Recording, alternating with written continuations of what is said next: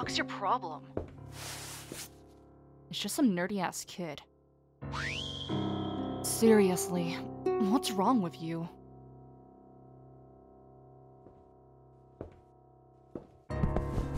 Is that a human child? Perhaps they're local. No, what am I saying? The whole city is a mess, clearly abandoned.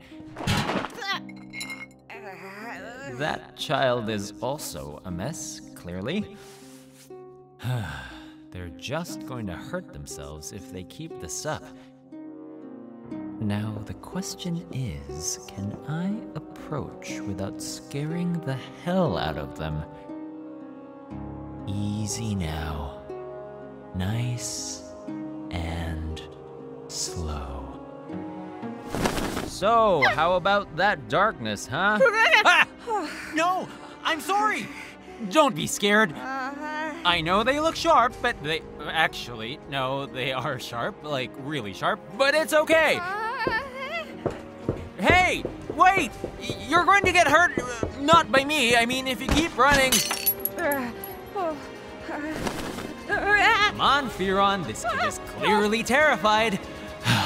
I don't like using this, but if talking to him won't work, at least it may be a bit of a safety net. You need to calm down. I am not going to harm you. I can open your eyes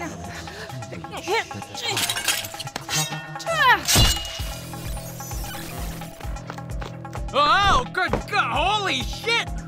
What the actual fu- That's no human child! That's no human child! Hey! Stop! Don't go outside!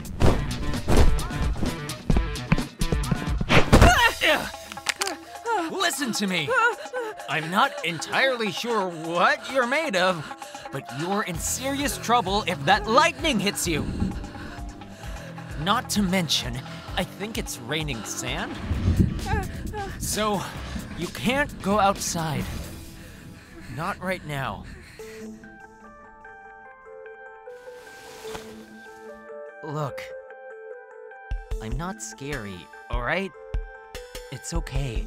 You're okay, I promise. I'm really sorry. I have a bad habit at not making good first impressions. So just. I don't know, focus on your breathing for a moment. Bre- breathe in, breathe out. Yeah, exactly! Just like that. Are you okay? I mean, physically. Obviously, you're not okay, but. But, you know. What the hell is happening? What is this kid? Is he even a kid? He totally just cut his own arm off like some salamander. God, this is so awkward. Do I just leave? Wait, that's even more awkward. Ah, crap. Crap, crap, crap. Come on, Firon. Think. so, I'm guessing you're here for that wish. Am I right? the one promised in the letter. Last time I had a conversation with someone about it, it only led to trouble. Ah, crap! Think better. That sucks. Sorry to hear that. I really don't want to compete against anyone. I was under the impression that this would be some, uh, I just wanted to see what it'd be like to be. But it's difficult, you know? You wouldn't think it would be, but then all of a sudden, whoa, you're producing all sorts of fluid from your face. And then you can't even think about the people you like without there being physical affliction. And Okay, half of that didn't make sense, but the half I did understand, I hated. I guess I got my wish. I'm here, experiencing, and it's, uh, oh, oh, it's a lot. So, you're currently wishless, is what you're saying. Hey, me too! I haven't quite figured out what my game plan is for that yet, but I'll think of something, maybe. Is there something else you would use that wish for? Like, what else do you want? I, I want, I, I want Aslan and Orion back. I wish I didn't leave their side. Everything felt right. Now everything just feels terrible. All because of my stupid mouth. And then I panicked and ran away. You know, I get it. Life is suffering. A lot of things that happen are out of your control. But you don't need a wish to fix a misunderstanding between you and your friends. Sometimes all you need is a bit of effort and communication. If they're somewhere in the city, I'm sure you'll meet again.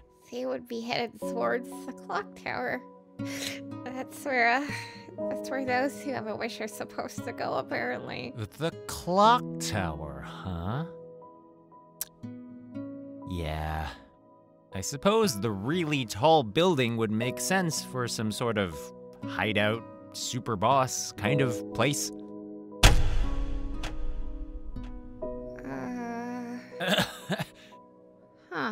You're right.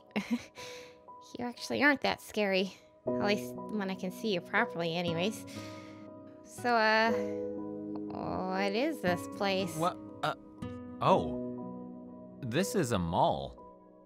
Y- you came here without knowing that, huh? Don't have malls where you're from? Oh, uh, I don't know how I got here. I was outside at one point, and then all of a sudden. You don't know how you got here?